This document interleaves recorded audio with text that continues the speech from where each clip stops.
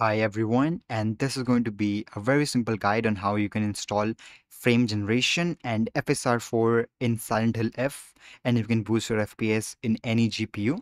And this is going to be a very simple guide and I will show you that how you can install FSR4 and frame generation together. So yeah, that's all and let's get started. So first of all, download the mode. I will leave the direct ad-free download link down below in the description box of this video. Simply click download here and this will be downloaded in a zip format and the name will be fsr4fz.rar. Simply put this zip file in any folder like here fsr4fz.rar. Simply right click and extract here using any application like WinRAR or 7-zip. Simply extract it and now what you have to do you will see all the files here you have to simply copy each and every file from here. Click copy and now open the main game folder wherever your Silent Hill F is installed. Like here if you are on steam it should be in the steam folder programs file 86 or wherever your Silent Hill F installed. Simply open the main folder and here simply go inside this shf this is the folder. And then click on binaries win64 and this is the main location where we have to paste the main exe file and paste all the files we copied. It will say to replace simply click on replace. And now we have to install. You will see here this bat file setup windows.bat simply click here. And now it will show uh, many options where we can choose from but simply choose the first option which is dxgi.dll this one works the best inside f. Simply click one and click OK. Now it will ask, are you using a NVIDIA GPU or AMD Intel GPU?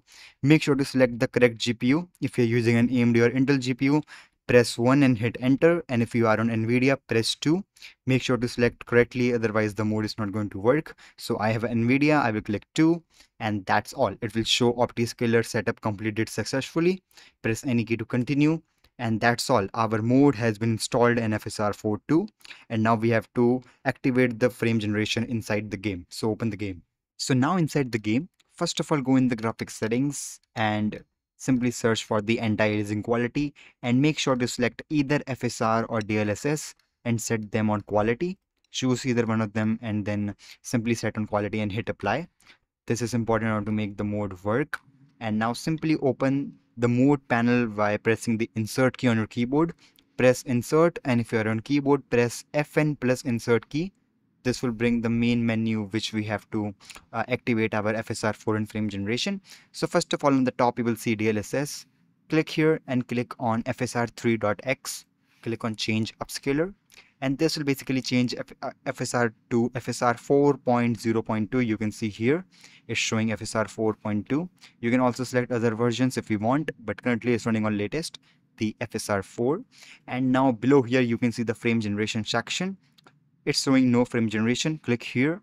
And then simply choose optifg.upscaler I don't know why but with the FSR4 all other frame generation options are not working properly so simply select opti fg upscaler option here and then here on this side select fsr.fg and this is the only working scenario here with fsr4 so just select optifg and fsrfg and now it will say save ini and restart the game to apply the changes. So simply click on save ini below and restart your game.